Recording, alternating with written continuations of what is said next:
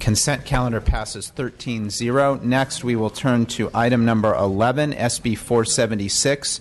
Uh, Senator Mendoza, uh, you may proceed. Thank you, Mr. Vice Chair and members.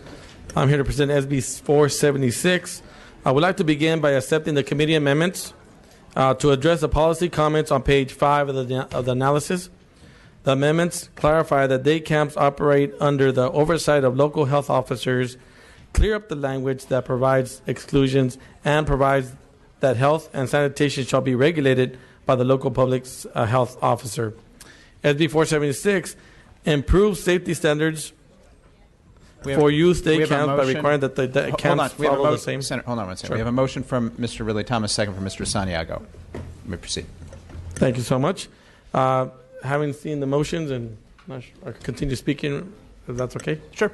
Okay. Yeah, I please any other authors, or else I would. Yeah, yeah, please would- proceed. Please yeah. proceed. Uh, 476 uh, provides safety standards for youth day camps by requiring that the day, camps follow the same standards that residential camps follow. Thousands of children at- attend camps throughout California. In the YMCA of metropolitan Los Angeles alone, there are nearly 3,000 children who attend their camp annually.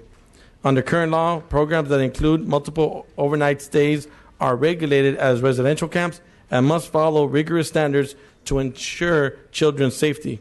However, many parents choose to send their children to local day camps instead, which are less costly than residential overnight camps and, and serve as an alternate alternative for kids to participate in recreational activities and outdoor experiences. SB 476 will ensure that day camps meet the same standards as residential camps, including oversight by the local health departments and the local fire marshal. In addition, this bill requires that carbon monoxide detectors be installed in camp buildings. With me today to testify is Catherine Barankin with the California Collaboration for Youth and Michelle Brankinier with the American Camp Association.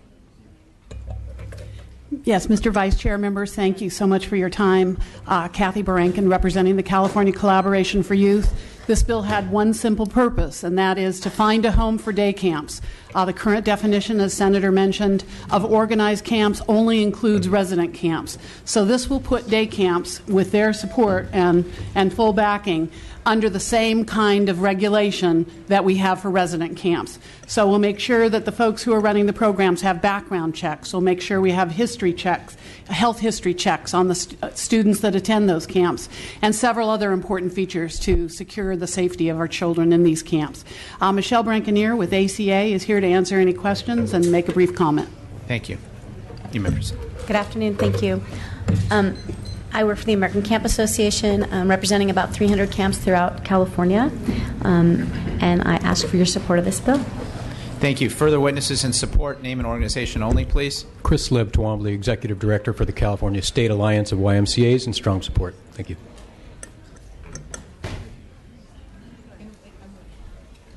Mr. Chair, Wobblers. I don't, I don't think there's any opposition. We've just got some comments Okay. to make. Yep, please. Just Malone for the Environmental Health Directors. We work closely with the health administrators. Firstly, I wanted to thank your staff for doing an outstanding job in working on these amendments. Uh, this is about four years in, in coming. And uh, we are the folks that actually do the authorization of the camps, the local environmental health, most of whom are under health agencies. We just had two clarifications we'd like to do as we move the bill forward. First one is to ensure that the authorization that's granted by the local agencies can either be a permit or a registration. We don't want to feel we don't want to have to do a full-on permit for a 4-hour soccer camp. So the, the bill, the amendments that you took, uh, do do that, but the rest of the bill needs to conform with that. So that's the first clarification. The second clarification is, in our opinion, the definition of day camp still is a little broad. Uh, we need to work on that. We don't want every single couple of hour, four hour, eight hour soccer camp to be uh, regulated as a day camp necessarily. So we understand that's a policy concern. It's also a fiscal concern. We like to work on those two issues as the bill moves forwards. And thank you for indulgence. Thank you for the author and particularly your committee staff. Thank you. Any further witnesses? Judith Regal with the County Health Executives Association. We were in opposed unless amended, and we appreciate the amendment very much to uh, clarify the role of local health departments over day campuses, health and sanitation. So that does remove our opposition. We do have st- uh, still concerns regarding some of the operational issues that Mr. Milan just mentioned, and we'll continue to work with the author's office on those. Mr. Chair and members, Farrah McDaid Ting with the California State Association of Counties. I'd like to associate myself with um, the health executive's comments. We have removed our opposition. We appreciate the author and committee staff for working very hard on this bill, and we look forward to continuing to clarify it as it moves forward. Thank you. Thank you. Any other witnesses uh, in opposition?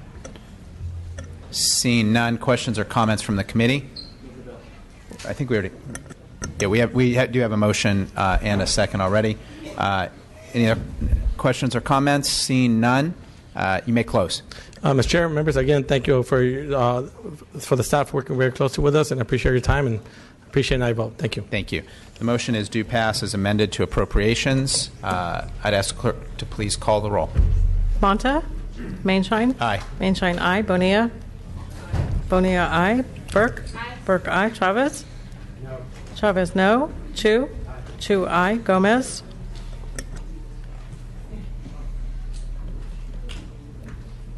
Gonzalez? Hernandez? Lackey? Lackey, aye. Nazarian? Patterson? Pat? Patterson not voting. Ridley Thomas? Ridley Thomas, I. Rodriguez? Gomez, I. Rodriguez? Santiago? Santiago, I. Steinorth? Steinorth, no. Thurmond? Waldron? Wood? Wood, I.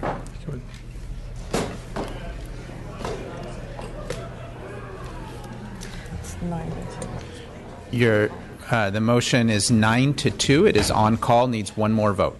Thank you. Thank Appreciate you. your time. Thank you. Good day. Thank you. Next, Senator Hill. Item uh, item 15, SB 671. And uh, Senator, you have a support support. Thank you, Mr. Chair and members. I motion, like that. Motion from Ms. Benia, second from Mr. Wood. And I appreciate that. This has been a long and hard fight and, uh, and battle, and I appreciate the support. Thank you very much. Thank you. Wit- uh, witnesses in support?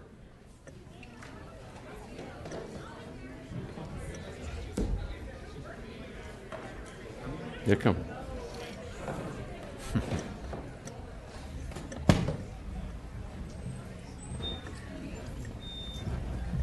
There we go. It's, it's, they said support, support, so we can just be brief. We got the votes, so we can just. Thank you. You, you may proceed. Good afternoon, members of the committee. My name is Jeffrey Ike. I'm an executive director at Amgen, one of the leading biotech companies in California. We're also a biosimilar sponsor, making uh, over a billion dollar investment in the success of biosimilars.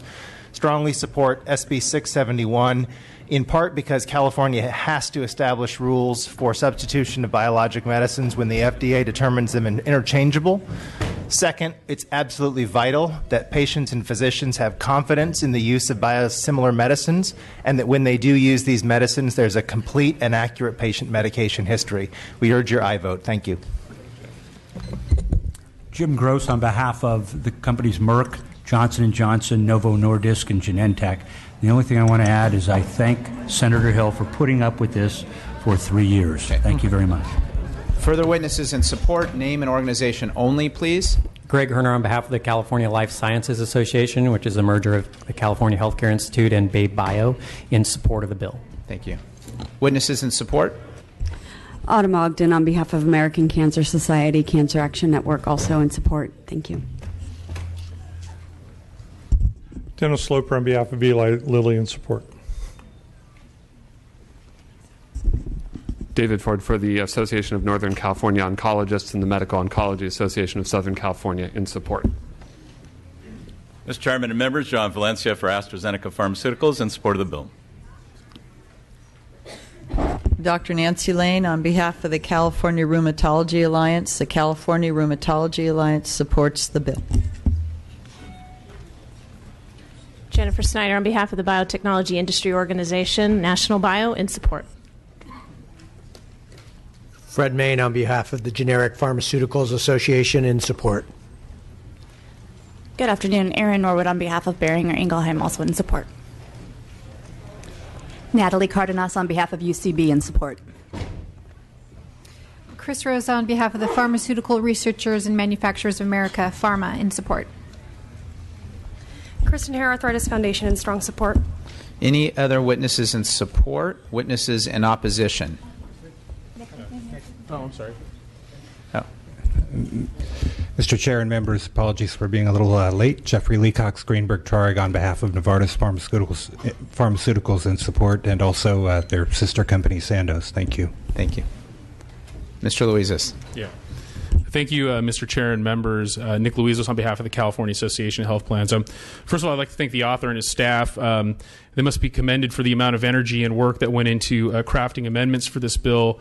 Um, unfortunately, the California Association of Health Plans uh, does remain opposed. Um, for our trade association, our opposition to the notice requirements in the bill uh, was not um, uh, based on an operational issue. Um, it was primarily based on policy and principle. Uh, we agree with the FDA commissioner and the tenets of federal law that state that um, any um, uh, there should not be any interference um, uh, in this area when interchangeability um, is determined um, by the FDA. So, due to the fact that only one biosimilar is on the market and that we do not see any interchangeable biosimilars um, on the horizon as of yet, um, uh, we are opposed to uh, any laws uh, on the basis that they are premature and could potentially undermine the trust in these cost saving drugs um, once they are on the market. So, um, for that reason, uh, we are respectively, uh, respectively, excuse me, uh, in opposition to the bill. Thank you very much. Stephanie Watkins on behalf of the Association of California Life and Health Insurance Companies. I would just echo the comments of my colleague, and we are unfortunately still opposed to the bill. Thank you. Any other witnesses in opposition? Seeing none, uh, and just Senator, for the record, uh, can you clarify that you are taking the uh, technical amendments from the committee? Thank you, Mr. Chair. Yes, we are taking the amendments. Thank you. Uh, any questions or comments from the committee? Mr. Ridley Thomas. Thank you, uh, Mr. Chair. Senator, uh, respect your work on this and other similarly uh, situated. I'm, sorry, I, I, couldn't hear you. Just acknowledging your work on similar issues related to uh, pharmaceutical safety, consumers, the healthcare delivery system, and efficiency. Certainly respect your role at the Business and Professions Committee. My concern is not unsimilar to what was mentioned by Ms. Louizos from the plans about consumer confusion. Can you speak to that point about the expectation that a consumer might have of certain um, uh, medicines and the, either the lack of what we see tangibly today that we can speak to uh, with biosimilars? Do you, can you opine on that or respond to uh, any of that? I, I, can, and I think if uh, Jeff could probably do it, but I, I just, uh, well, go, yes, maybe that'd be best. Go ahead. Thank, thank, you for the question. I think the, the most important part of, uh, probably one of the most important parts of SB 671 is it makes very clear that under the new healthcare law and for biotechnology medicines, there are now going to be three types of medicines. There will be originator biologics, which have been on the market for some time. There will be biosimilars, which gives physicians, clinicians, the option to choose a particular medicine for a t- particular patient based on their disease state based on their insurance coverage, so they have access to those medicines. And the third class of medicines are what are called interchangeable biologic medicines, and those the FDA will be determining are appropriate for substitution at the pharmacy level. So, what this bill does is it actually creates great clarity where today there's almost none for consumers in California, and says here are the three kinds of medicines that the FDA will be approving, and here are how those medicines should be used. Do we know if those uh, of the three types, which medicines perform better with uh, very sick individuals? So these are all used predominantly for individuals with grievous disease or a lifelong disorder, right? So these are all very sensitive patients, and all of the medicines, originator medicines, biosimilars, and interchangeable biologics, will be shown to be safe and effective. The question and what the FDA is evaluating along with us as we develop these medicines is how should they be used? And so what, the, what SB 671 does is it implements in California uh, a framework that perfectly comports with what the FDA is evaluating and the data that we're generating to develop these medicines. And so, what you'll see very quickly as these medicines come to market is that more patients will have access sooner to biologic medicines, and that's really the intent of the program. And is there an anticipated anything at the uh, FDA level that will make this more difficult to deploy or uh, be incongruent with respect? I I know that you're trying to aim where they are now. I'm, I'm not as familiar with uh, this program or scheme. That's why I have concerns. No, this, this perfectly comports with both what the FDA is requiring of us as sponsors and what they are determining on a scientific review is appropriate for the medicine. So, where the FDA says the medicine is a biosimilar, it's a choice for a patient's rheumatologist or oncologist. And where the biosimilar is determined to be interchangeable with another, then a pharmacy will be able to make a substitution based on what is the, the best option for that particular patient. And in the event that a particular medicine has a terrible failure rate or doesn't perform as well as the FDA and, and the pharmaceutical manufacturer may have hoped, there's no difference in the recourse that the consumer has with respect if they feel as though they were injured or that it didn't, the biologic or the, the third, I, I can't recall the terminology used, but the third type of medicine that may not have performed as well. It's basically the same recourse that any patient would have or, or regimen. It's the same. It's the same recourse, but what SB 671 does is actually improve that level of reporting because what it does is it ensures that a patient, their pharmacist, and their physician all have shared information on the actual product in question that's in that patient's body at any one time.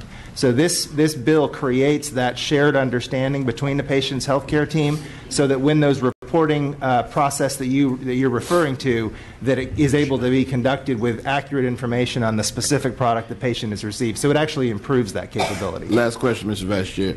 Do do biologics uh, and biosimilars, if, if that's the correct term uh, in this bill, provide the potential for a reduction in the medication that someone with chronic illness would have to, uh, reduction in the medical regimen and the pill regimen that someone would have to take who has a chronic disease? It, it will not. It's going to be the same dose, dosage form, and strength as the medicines that are currently on the market today. It just simply provides physicians and patients with additional options, and it creates much, much more competition than might exist today for some medicines. Thank you very much. Thank you, Senator. Thank you, Mr. Chiu. Quick question, uh, Senator. Thank you for your work over a number of years. I almost feel badly I haven't been around to see Yeah. uh, all the work you've I done. had hair when we started this, and I think they did too, actually. Maybe someday someone will uh, think of a drug to help out with that. Uh, my, I'm hoping it's potentially biosimilar.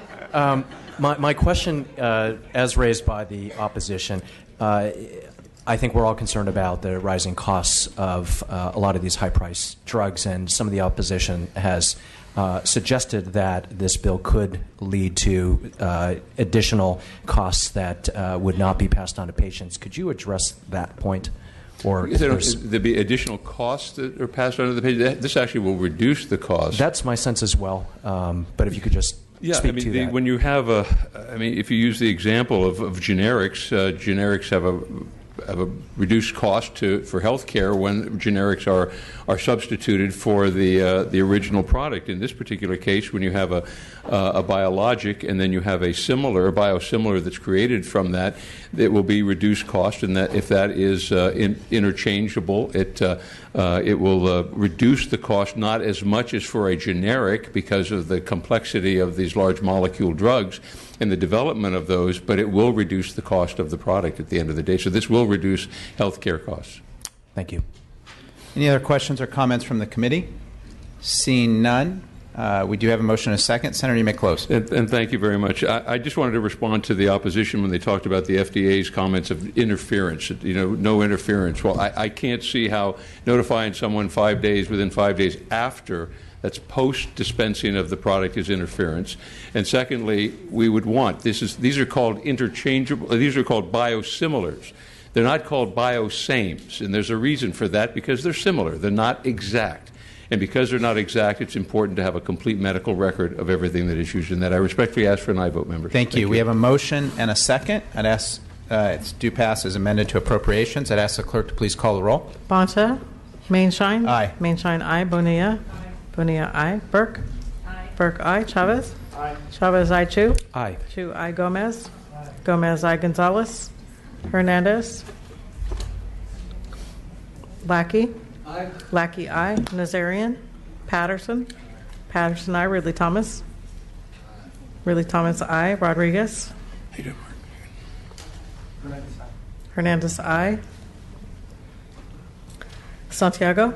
Santiago, I. Steinorth. Steinorth, I. Thurmond. Waldron. Waldron, I. Wood. Wood, I.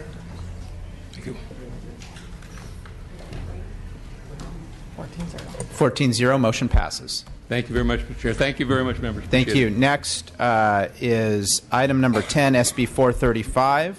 Senator Pan.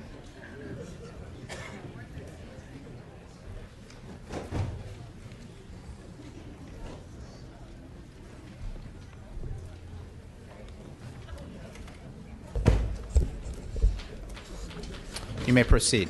All right, thank you. Good afternoon. Thank you, Mr. Vice Chair and members. I present to you Senate Bill f- fi- 435, which requires the Secretary of the California.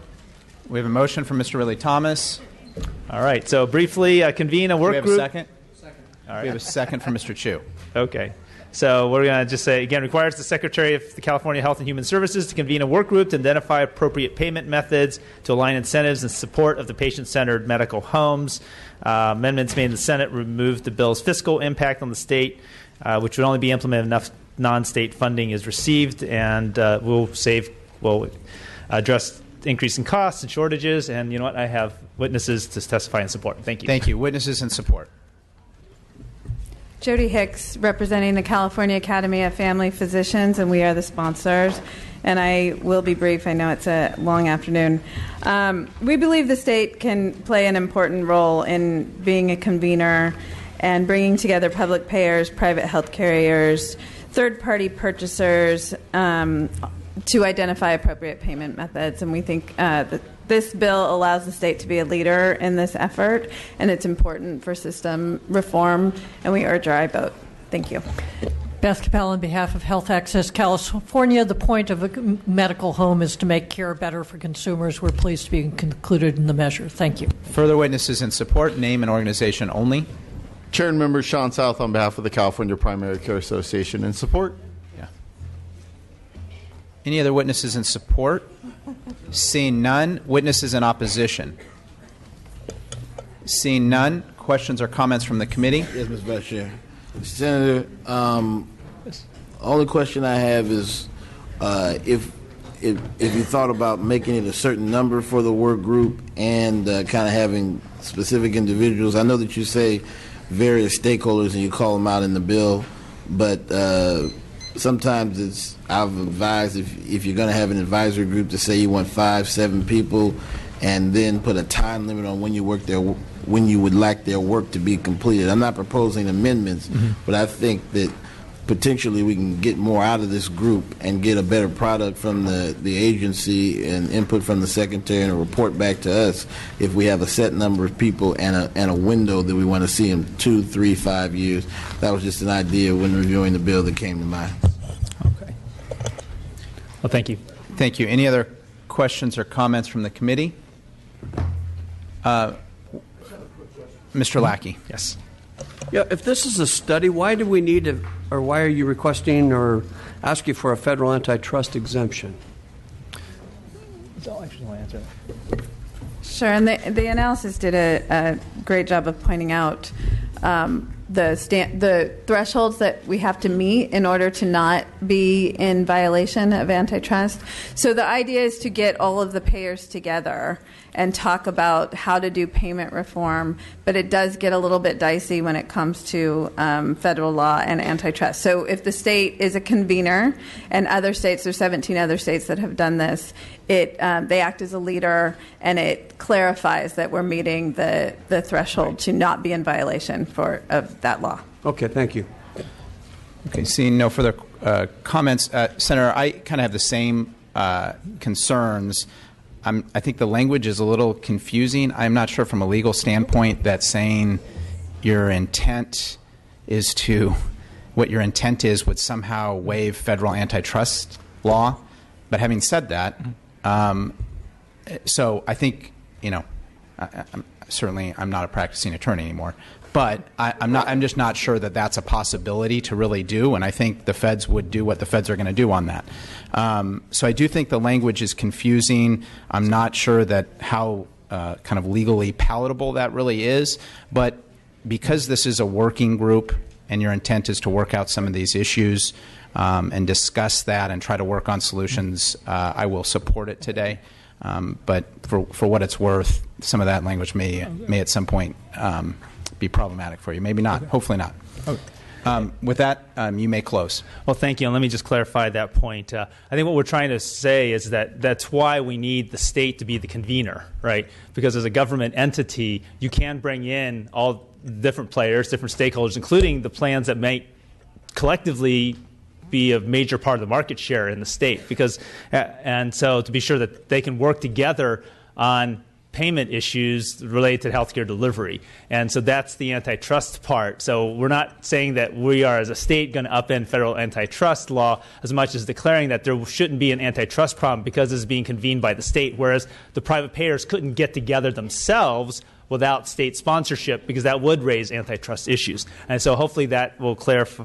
Uh, that, that's really, I think, the point of the language there. And, and I would just uh, note that the patient centered medical home is something that is not just for the, uh, the public sector. This is also something for the private sector. In fact, many private sector uh, payers, such as IBM and others, have taken the lead in uh, implementing patient centered medical home models uh, for their own population. So, this is really an opportunity for California to bring people together, stakeholders, not just plans, but also others as well, uh, to take advantage of the opportunities to implement patient centered medical home initiatives so that both private and federal pilot and demonstration projects because there are some you know, privately funded ones as well, so that California can lead in cost-effective health, quality health care. So I respectfully ask for an aye vote. Thank, Thank you. you. We have a motion due pass to appropriations. Uh, we have a motion and a second. I ask clerk to call roll. Bonta, Maienschein. Aye. Maienschein, aye. Bonilla. Burke. Burke, aye. Chavez. Chavez, no. Chiu. Chiu, aye. Gomez. Gomez, aye. Gonzalez. Hernandez? Hernandez, I. Lackey? Lackey, no. Nazarian? Patterson? Patterson, no. Ridley Thomas? Ridley Thomas, I. Rodriguez? Santiago? Santiago, I. Steinorth? Stein North, no. Thurmond? Waldron? Waldron, I. Wood? Aye. Wood, I.